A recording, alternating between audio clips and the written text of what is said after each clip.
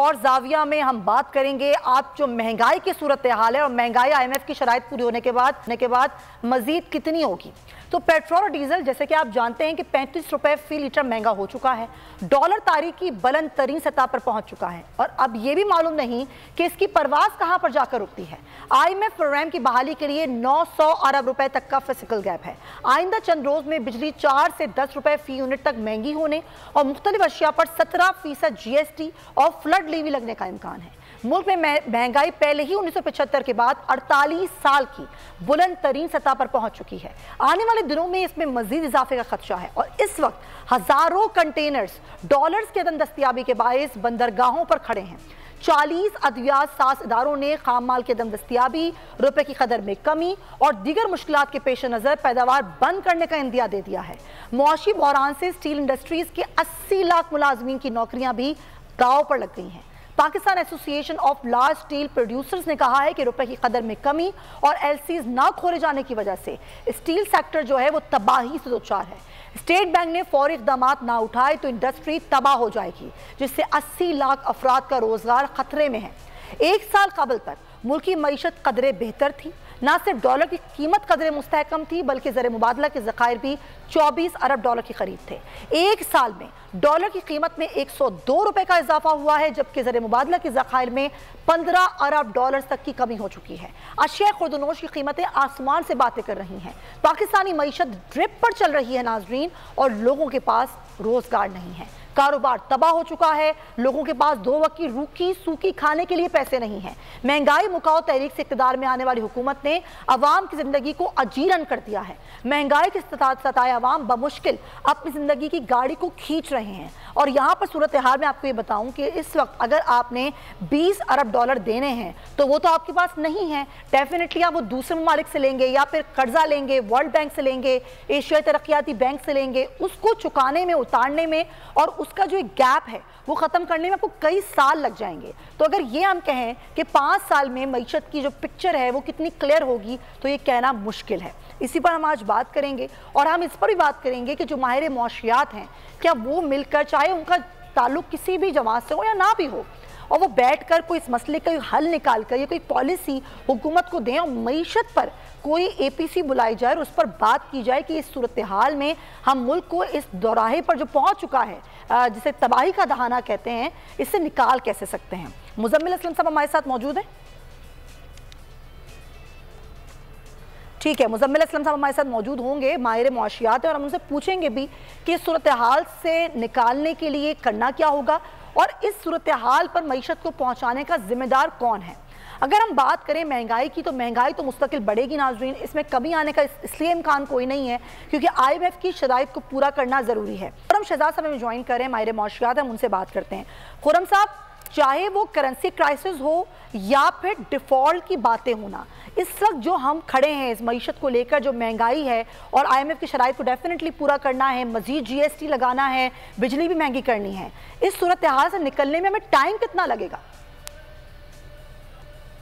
जी असलम देखिए जहाँ तक टाइम की बात है तो आप मेरे ख्याल में कुछ छः आठ महीने या साल कम से कम अपने जहन में रखें जब तक चीज़ें स्टेबलाइज होंगी एटलीस्ट छः महीने तो लगेंगे क्योंकि आईएमएफ जो है फंडिंग रिलीज़ करेगा उसके बाद जो दूसरे डोनर्स हैं दूसरे बैंक दुनिया के बड़े वो आपको अपने पैसे रिलीज़ करेंगे उसके बाद आपके दोस्त ममालिक जो है इंडिया चाइना ये अपने पैसे रिलीज़ करेंगे रोल ओवर करेंगे तो आहिस्ता आहिस्ता सिचुएशन जो है वो बेहतर होगी डॉलर जो है वो उस वक्त होगा। अभी आप एटलीस्ट छह महीने में रखें जब तक मेरे ख्याल में चीज़ें इतनी आसानी से नहीं आप आपको ऐसा वाकई खुरम साहब मैं आपसे यही जानना चाह रही हूँ क्योंकि आप मीशत को बेहतर समझते हैं कि छः से आठ महीने ही लगेंगे क्योंकि यहाँ पर तो कई सालों की बातें की जा रही हैं कि अब जो हाल हो गया है मीशत का इसको संभलने में कई साल लग जाएँगे। देखिए मैं ये कह रहा हूँ कि संभलने में वो एक रिलेटिव ये जो है वर्ड है कि स्टेबलाइज होना और उसके बाद ग्रो करना। मैं बात कर रहा हूँ जो इस वक्त हमारी इन्फ्लेशन है जिस वक्त हमारे डॉलर रेट चल रहा है और जो आगे आने वाले दिनों में इन्फ्लेशन आनी है वो मैं कह रहा हूँ कि छह हम्म। महीने तक आपको ये टफ टाइम देखना पड़ेगा उसके बाद स्टेबिलिटी के साथ आपको प्लान करना है कि अगले तीन चार साल हमने किस तरह से अपने कर्जों की अदायगियाँ कर दी हैं और कैसे स्टेबिलिटी को सस्टेनेबल बनाना है हम्म। तो वो छह आठ महीने तो आपको फायर फाइटिंग में लगेंगे मैं ये बात कर रहा हूँ फायर फाइटिंग के बाद आपको जाके आपको भी आज अगर आप सही बैठ के सारे एक साथ साथ जोड़ के बैठे हैं और प्लान करें तो फिर छह आठ महीने आपको लगेंगे स्टेबलाइज करने में। उसके बाद आपको स्टिल बहुत काम करना है अपने अगले दो तीन साल चार साल ताकि आपकी इकोनॉमी सही तरह ऑन ट्रैक है वरना आपके लिए प्रॉब्लम बढ़ती जाएँगी और छह आठ महीने लंबे होकर आपको वो पॉलिसीज़ क्या हो सकती हैं और वो पॉलिसीज़ क्या नहीं थी जिसकी वजह से हम यहाँ पर पहुँचे? सबसे इम्पोर्टेंट जो पॉलिसी है वो फ़िज़िकल पॉलिसी है जो कि किसी ने नहीं अपनाई किसी ने ठीक किया पिछले कई सालों से। हमारे पास टैक्स का जया होता आया है और जो एक्सपेंडिचर्स हैं जो खर्चे हैं गवर्नमेंट के अपने वो जो है काबू में नहीं रहे। तो गवर्नमेंट करती है जो भी गवर्नमेंट आती है वो बड़ा आसान ये एक्चुअली आसान डिसीज़न होते हैं कि वो करेंसी को नीचे कर देती हैं हम्म। पेट्रोल को ऊपर कर देती हैं बिजली की कीमतें बढ़ा देती हैं और टैक्स बढ़ा देती हैं एग्जिस्टिंग टैक्स ये तो बड़े आसान फैसले हैं। तो ये सब करते हैं। ये भी गवर्नमेंट यही कर रही है। हम्म। करना ये चाहिए कि अपने खर्चे जो जो बड़े खसारे हैं ना वो क्यों होते हैं? इसलिए होते हैं जब एक बड़ा खसारा जिसे फ़िज़िकल डेफिसिट कहा जाता है जो टैक्सेस और यानी कि आमदन और खर्चों का जो फ़र्क होता है उसको गवर्नमेंट ठीक नहीं कर पाती। उसको या तो करती नहीं है अपने खर्चे कम नहीं करती वो कंपनीज़ हम्म। को बंद नहीं करती जो कि नुकसान में गवर्नमेंट की अपनी कंपनियाँ फिर अपने एम्प्लॉयज़ को कम नहीं करती अपने आप को विजन नहीं करती तो फिर इकॉनमी को किस तरह से कर सकते हैं? सबसे बड़ा जो प्रॉब्लम है वो फ़िज़िकल डेफिसिट है वो मुश्किल करता है वो जो गवर्नमेंट कर लेगी आई एम श्योर वो अपना पॉलिटिकल कैपिटल जाया करेगी बट कंट्री के लिए बेहतरीन है। अच्छा एक चीज़ हमने देखी, कई मतलब मैं तो कहूँगी एक साल से कि ये जो करेंसी क्राइसिस का मामला आया डॉलर एक तो इतना ज़्यादा उसकी बढ़ गई कदर, अपना रुपया हमारा डिवैल्यू हो गया, फिर डॉलर नहीं है। और ब्लूमबर्ग की रिपोर्ट भी कह रही है इवन आप लोगों ने भी कई बार मेरे शोज़ में ये बात की कि स्मगलिंग नहीं रोक पाई हुकूमत, ना पिछली, ना ये हुकूमत। और अभी भी बड़ी तादाद में स्मगल हो रहा है डॉलर ताजिर स्मगलर्स रोज़ाना पाँच मिलियन जो है वो सरहद पार ले जाते हैं।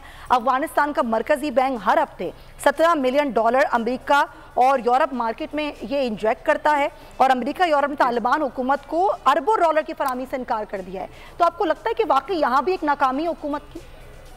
बिल्कुल नाकामी है। देखिए जी गवर्नेंस है ना गवर्नेंस सब कुछ है। अगर आप एक तरफ़ डॉलर रोक के रखने की भी बात करते हैं अभी इस गवर्नमेंट ने ये किया कि इंटर बैंक में डॉलर के रेट को जो है वो रोक के रखा और वो नहीं करना चाहिए था, उसमें से आई भी आपके पास जो है ना बहुत ज़्यादा जो है वो उस तरह से ट्रैक पे नहीं आया जिस तरह से वो आ सकता था। तो आपने तरफ़ करेंसी को रोक के रखा हवाला मार्केट आपकी बहुत बड़ी खड़ी हो गई। डेढ़ हम्म। डेढ़ से दो बिलियन डॉलर की हवाला मार्केट इस वक्त खड़ी हुई भी आपकी। उसको उसको रोकना आसान थोड़ी है। फिर आपका आपने एक्सपोर्ट किया आपने एक्चुअली कोल खरीदा रुपीज़ में अफ़गानिस्तान से। जब अफ़गानिस्तान को रुपी मिलते हैं तो वो क्या करते हैं? वो आप ही की मार्केट से डॉलर खरीद के ले जाते हैं और वो भी हवाले के ले जाते हैं। तो भाई गवर्नेंस के भी इश्यूज़ हैं और पॉलिसी का भी जो है ना भुगतान है बेहतर पॉलिसी का भी भुगतान है। तो दोनों तरफ़ से प्रॉब्लम है ना? ये दोनों चीज़ें ठीक हों तो आज हमारे जो क्रॉस बॉर्डर लोग आते जाते हैं बगैर वीज़ा के, वो ही ना हो ना और कितनी ज़्यादा चीज़ें स्मगल हो रही होती है। आज भी स्मगलिंग जो है वो इतनी फ्लरिश हुई भी है जब आपने इम्पोर्ट होती हुई है ऑफिशियली तो ये सारी चीज़ें गवर्नेंस से रिलेटेड है। गवर्नेंस कौन करता है? गवर्नमेंट ऑफ़ पाकिस्तान करती है कोई भी पार्टी की गवर्नमेंट गवर्नमेंट को। तो बेसिकली आपके अगर गवर्नेंस के इश्यूज़ हैं फ़िज़िकल पॉलिसी के इश्यूज़ हैं तो वो कंटिन्यू करेंगे। अगर इन पर आपने काबू नहीं पाया तो आईएमएफ के पचास प्रोग्राम और भी ले लें। आपको जो है ना वो कभी भी आपकी स्टेबिलिटी नहीं है। ये बड़ी आपने पत्ते की बात की। खुरम साहब, बहुत शुक्रिया। चाहे कितने प्रोग्राम्स आईएमएफ के आप ले लें, चाहे आपको कितना पैसा आ जाए, अगर आपकी पॉलिसीज़ नहीं होंगी, आपकी गवर्नेंस का निज़ाम ठीक नहीं होगा तो मीशत संभल नहीं सकती है। ये पॉइंट बड़ा अहम है। अगर आपको ये वीडियो पसंद आई है तो सब्सक्राइब करें और बेल आइकन पर क्लिक करें। होने ना हक बहुत पी चुकी ये ज़मीन। अब कोई दिन में ये खून उगलने को है। खत्म हो जाएगी ये तमाशा करी वक्त पलटेगा रोज़े जजा की तरह। ये जो पेशावर में ताज़ा लहू है बहा, एक क्यामत करेगा फलक पर बपा। गम की सलमनाक घड़ी में, बोल सान है पिशावर में शहीद होने वालों के लवाहिकीन के साथ। सब्सक्राइब करें और बेल दबाएँ ताकि कोई खबर रह न जाए।